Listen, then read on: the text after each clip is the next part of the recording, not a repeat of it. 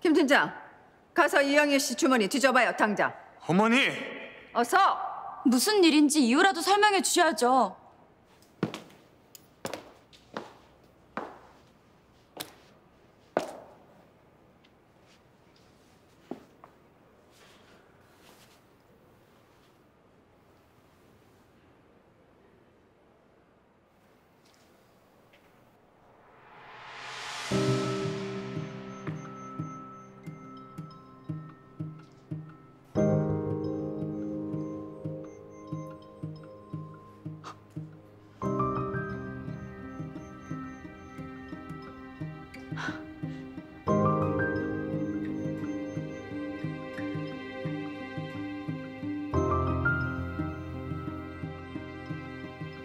뭐해요, 김 팀장?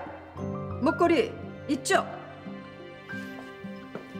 아니요, 부사장님. 없습니다.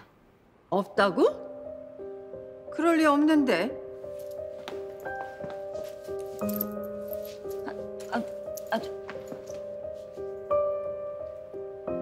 어떻게 된 거죠, 김 팀장? 내가 분명히 봤다니까. 미안해요, 이영희 씨. 내가 실례를 했네요. 제가 아무래도 다른 데다가 둔 것 같습니다.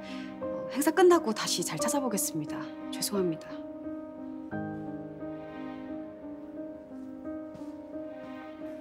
없다고 하지 않습니까?